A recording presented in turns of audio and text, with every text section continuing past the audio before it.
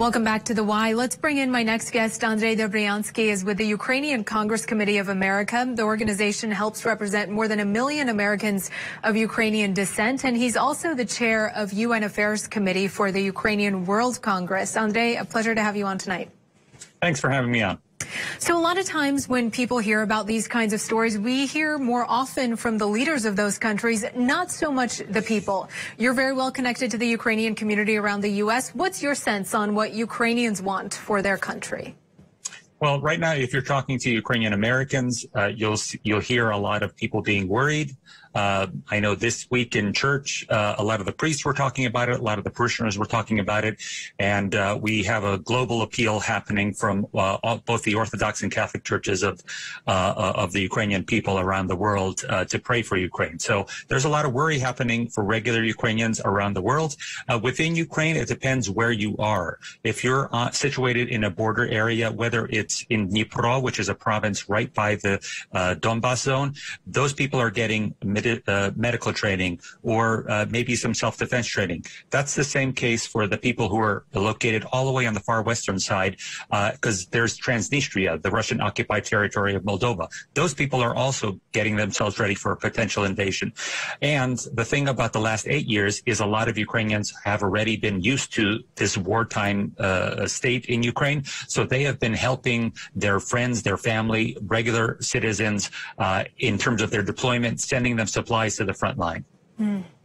I'm curious what Ukrainians want to see from the U.S. government.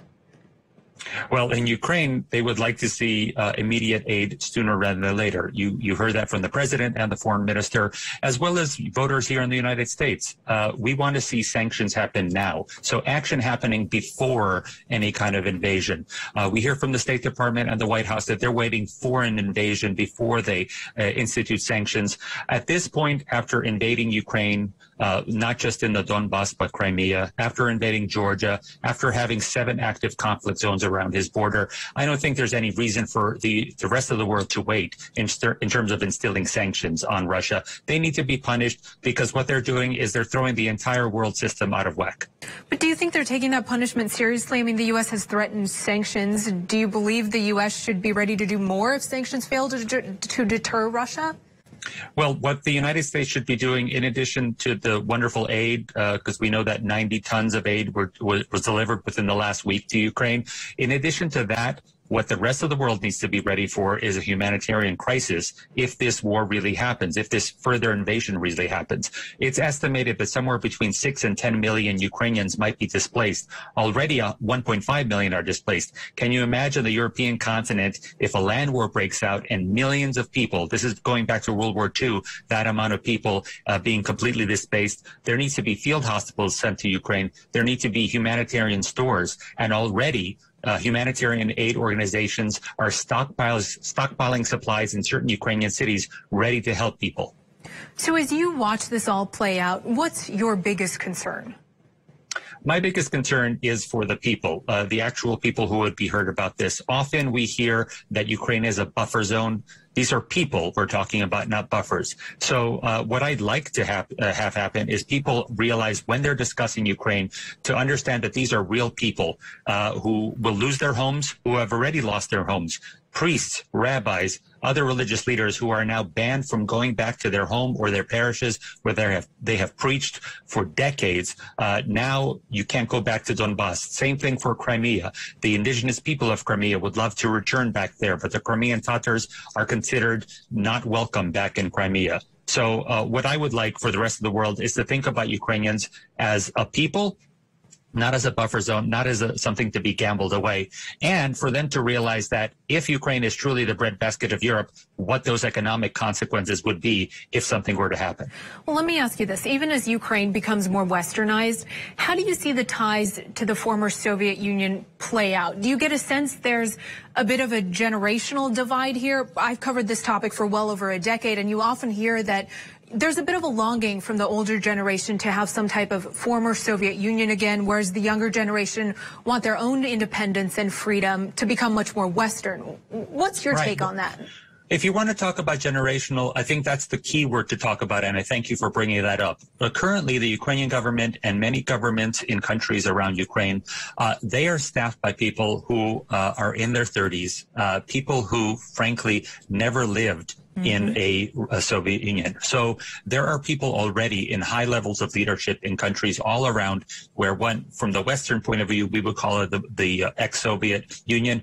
But these are people who have never had that existence. So for them, their reality is they want to have a proper uh, chance to have a solid economic life, to have a, a, an ability to, to feed their family and have a proper job and not have to leave their country as many of their friends have had to do for decades, going to Europe. Uh, I know people with financial degrees that have to go to Poland to clean hotel rooms to, to sustain their entire family because the economy has been, so been bogged down by this war. That's not what needs to happen. What needs to happen is that all, all these countries and all these people should be given the right to have a fully functioning uh, economic thriving society and not be constantly under attack by one nation. One nation is constantly doing this. Mm-hmm.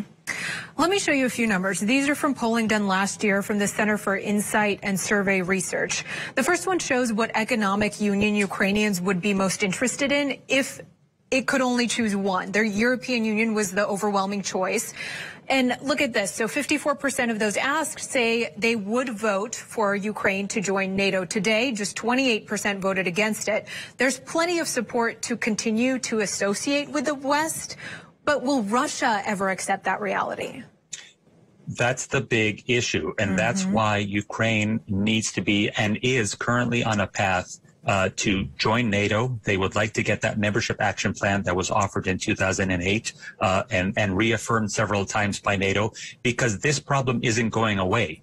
Uh, we know that President Putin changed the constitution that he can be president until 2036 we don't see any other uh, line of uh, foreign policy from Russia other than to constantly invade its neighbors. So Ukraine not only needs help right now, but it is in the plans of trying to have a stable defense for years to come because Russia is not going to change its mind. It, it, it, has done cyber attacks against many NATO members. It has uh, uh done assassinations on NATO territory.